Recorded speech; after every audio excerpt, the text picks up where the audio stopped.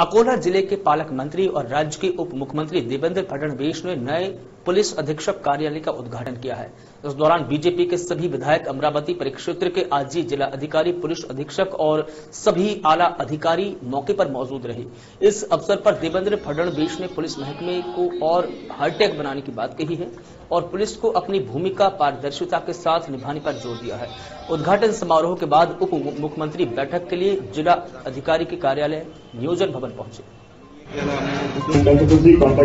SP उद्घाटन होत आहे मला आठवतं की ज्यावेळेस मी मुख्यमंत्री आणि गृहमंत्री होतो त्यावेळी अकोल्यामध्ये एक सुसज्जित अशा प्रकारचे एसपी ऑफिस बांधण्याकरता आपण मंजुरी दिली होती.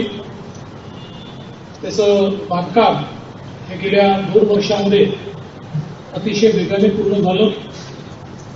आणि जेवढा भाग मला पाहायला मिळाला त्याच्या आधारावर काम देखील चांगलं झालंय असं निश्चितपणे या ठिकाणी म्हणता येईल. खरं म्हणजे आपल्या पोलीस विभागाचं कुठलंही कार्यालय हे जनतेचं कार्यालय असतं.